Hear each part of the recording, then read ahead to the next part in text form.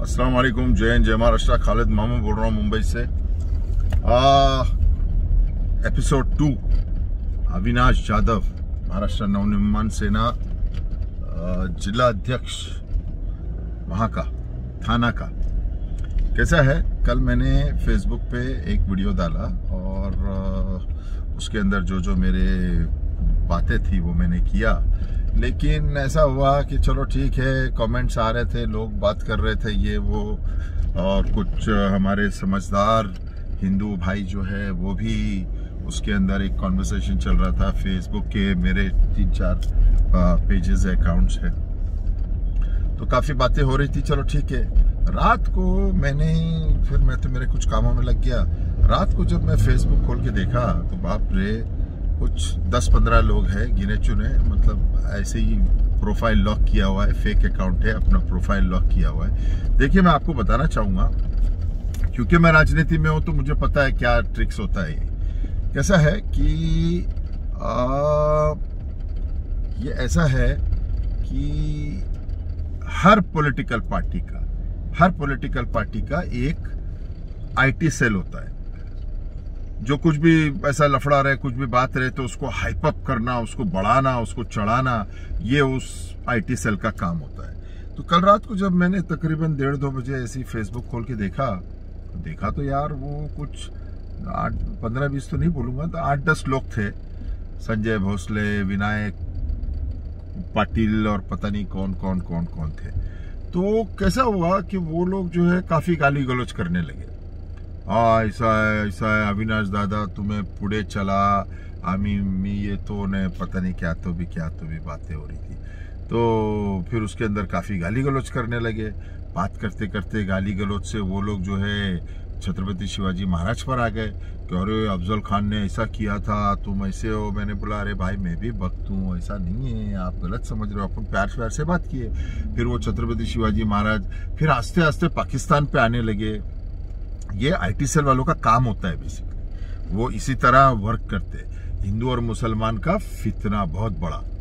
तो बच्चे लोग अपने मुसलमान भी कुछ बच्चे लोग हैं, वो उन्होंने गाली गलोच किए सामने वालों ने तो इन्होंने भी यहाँ से गाली दे दिए और अपने बच्चे तो माशाल्लाह पीएचडी करे हुए गाली वाली में।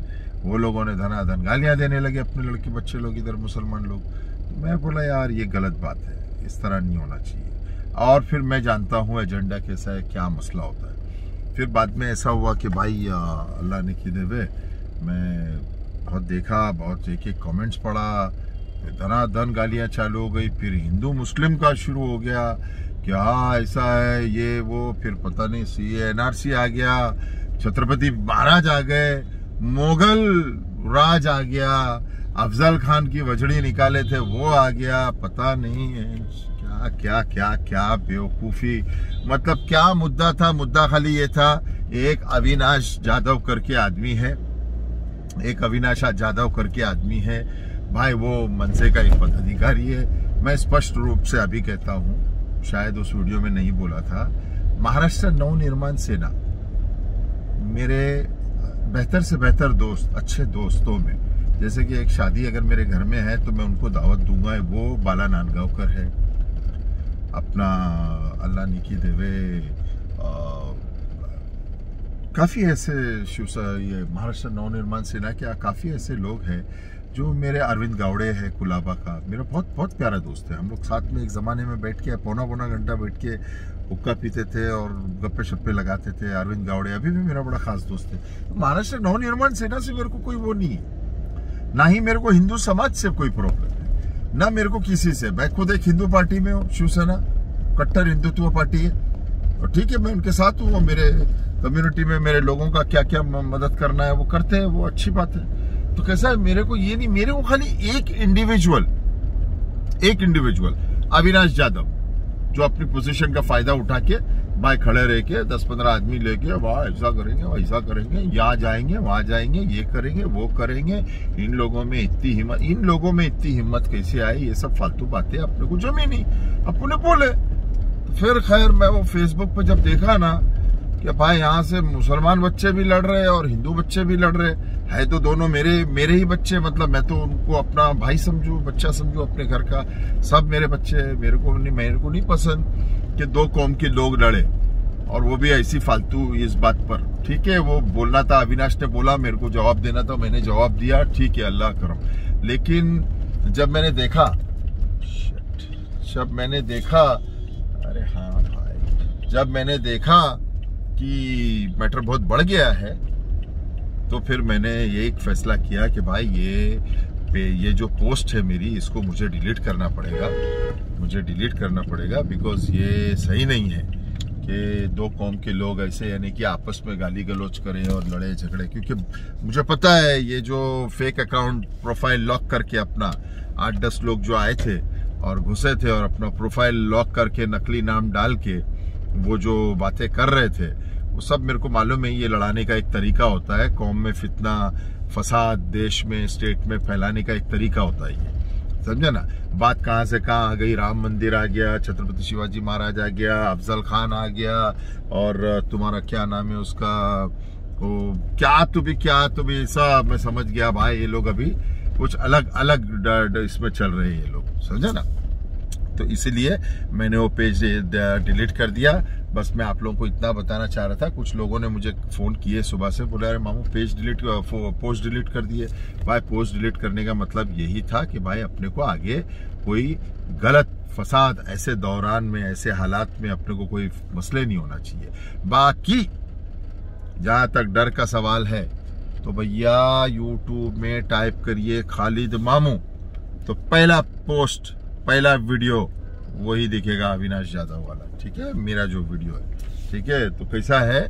मैंने हिकमत से काम किया है, क्योंकि मेरे देश में, मेरे स्टेट में, मेरे शहर में, मेरे मोहल्ले में कोई भी हिंदू, मुस्लिम नाम का कोई भी झगड़ा नहीं होना चाहिए। वो एक अविनाश ने किया, मैंने उसको जवाब दिया, चलो ठीक है, मैं भी खुश, वो भी खुश, ठीक है? मैटर एंड राइट देर समझा ना? लेकिन आगे जाके बच्चों में लड़ाई झगड़े हो, आपस में ये मेरे को जरा भी नहीं पसंद है। इस वजह से मैंने वो पोस्ट जो है फेसबुक से मेरे पेज से डिलीट किया।